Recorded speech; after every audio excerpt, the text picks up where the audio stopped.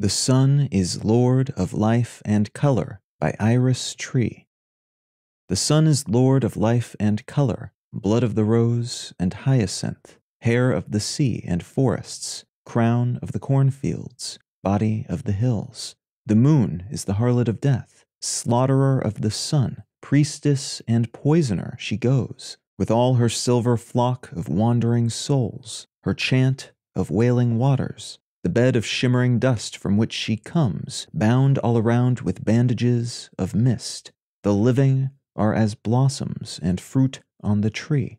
The dead are as lilies and wind on the marshes.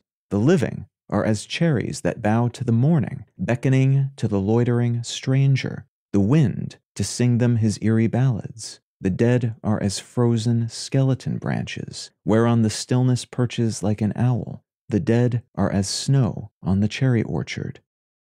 The sun is Lord of life and color by Iris Tree.